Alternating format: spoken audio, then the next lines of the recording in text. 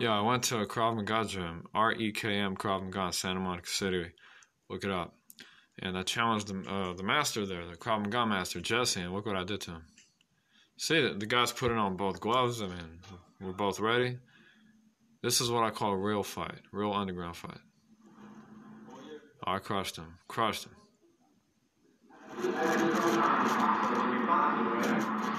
Bam. Again. He's no match for me.